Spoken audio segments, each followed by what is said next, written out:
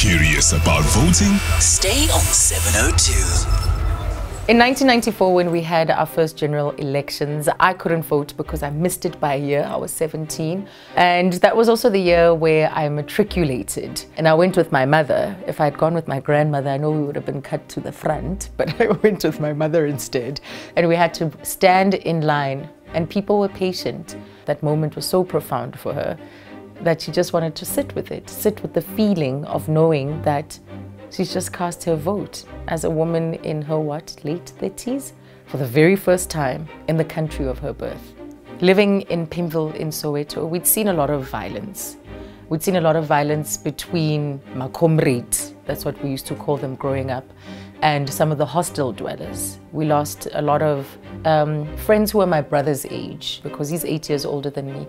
So he was in his 20s at the time. But young men who would literally, in the evenings, would leave their homes to defend the neighborhood from people who were attacking from the hostels that were close by.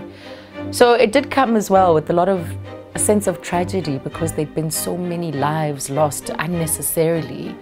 And it makes you appreciate even more this transition, the transition that we went through, but also that it was a peaceful one and that here we are sitting today as a democratic country. You know, when it comes to these elections, I'm literally tense.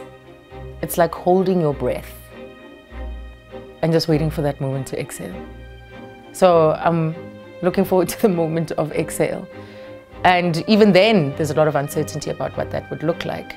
There's a lot of tension at the moment. There are a lot of unknown factors, a lot of unpredictability um, as far as people, the lengths to which they're willing to go. This is a week in which we're seeing a lot of protests. Almost every day there's been a major protest.